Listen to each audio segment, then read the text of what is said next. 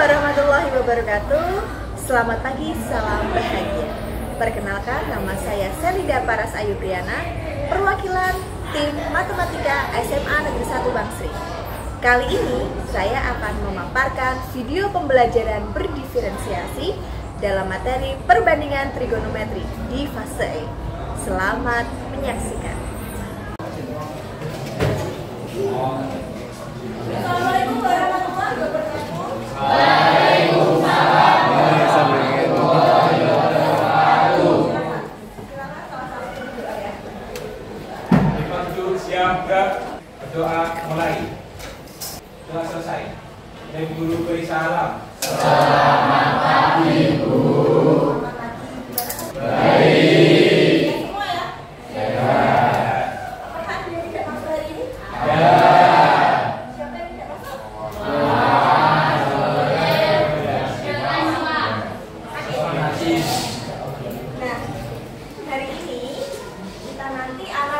mengenai perjanjian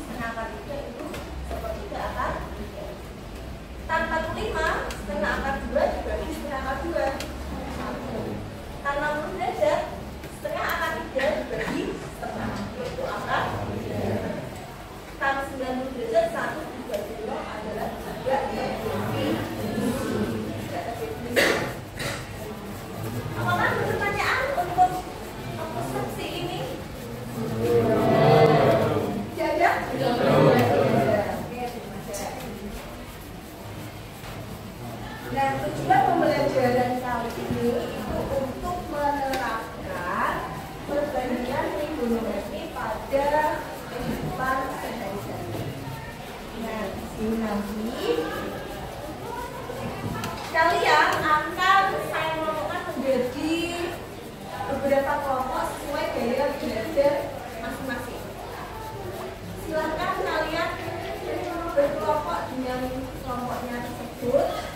Kemudian nanti kita akan melaksanakan suatu proyek. Gitu. Minggu lalu saya sudah menyampaikan bahwa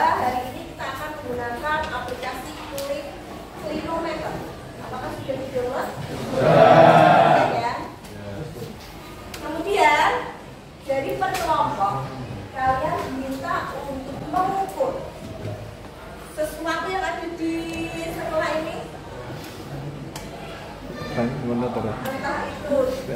Yang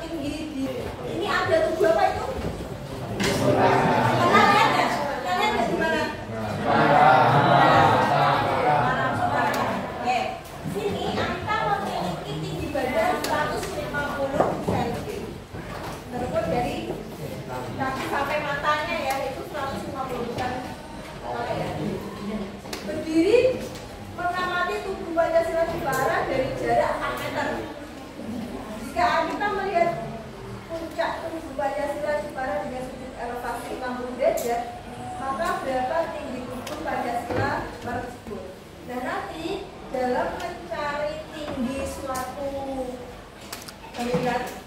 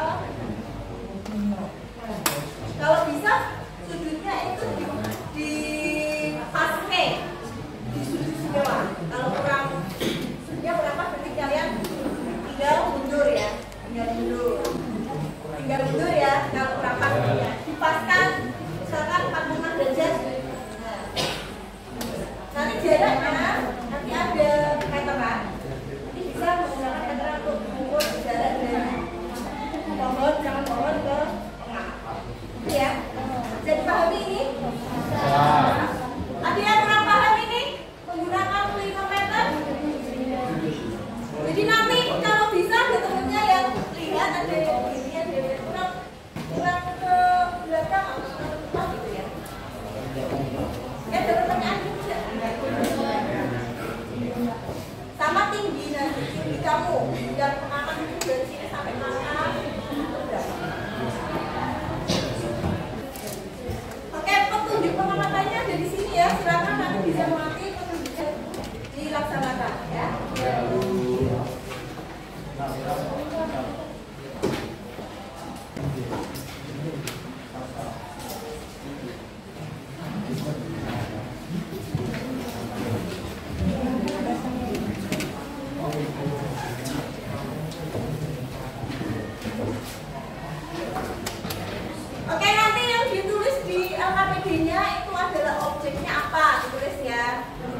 tinggi pengamat.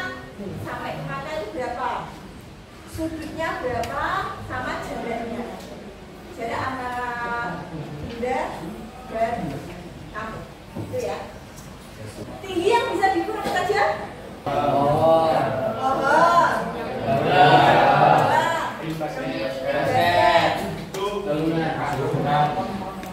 Yang bendera. Yang bendera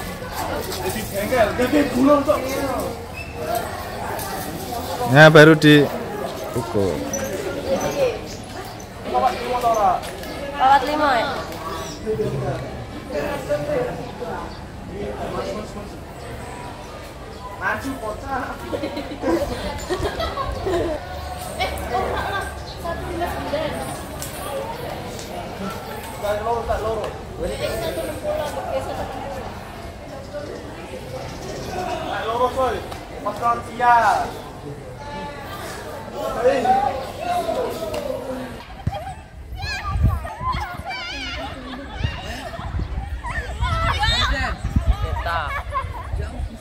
単に簡単に。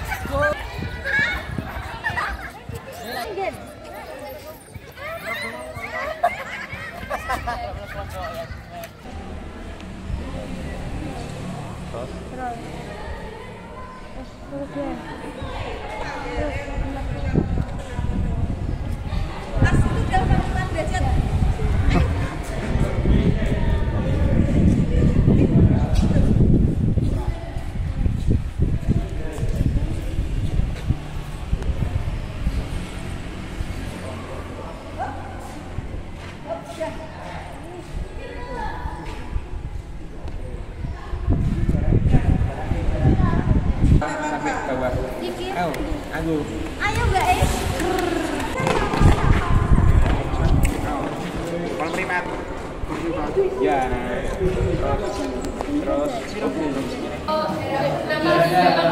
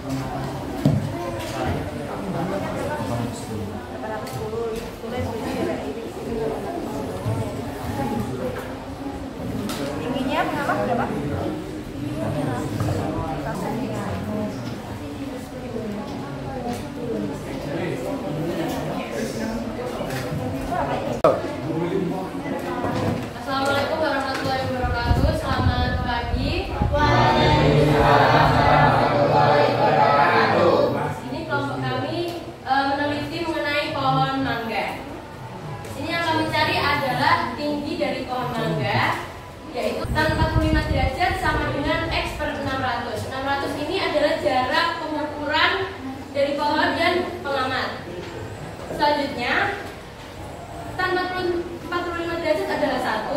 Nah, maka jarak pohon sebenarnya adalah 156 cm yang merupakan tinggi dari pengamat ditambah dengan 600 cm sama dengan 756 cm.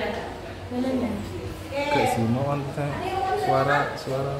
Jadi tinggi pohon mangga yang di depan itu ya berarti ya? Ya, Nah, di depan itu ada 756 cm.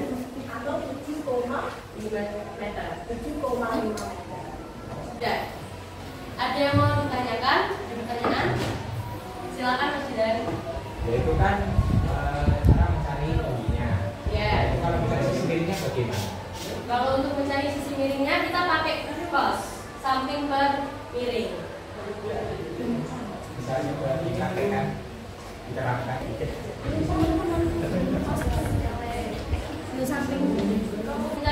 Miring kita pakai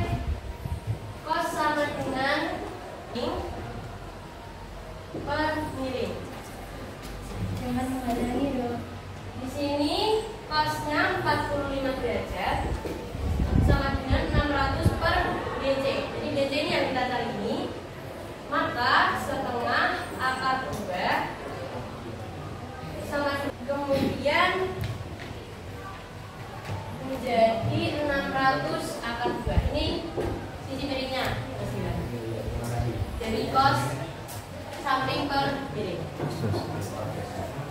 Sudah jawab ya? Ya.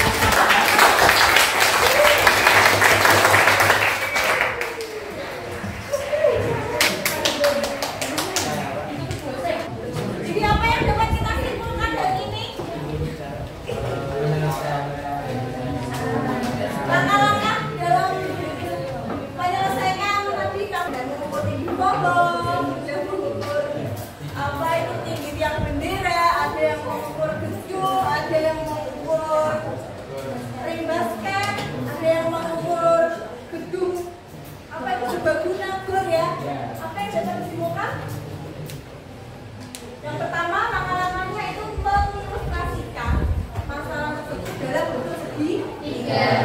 Segitiganya apa? Segitiga.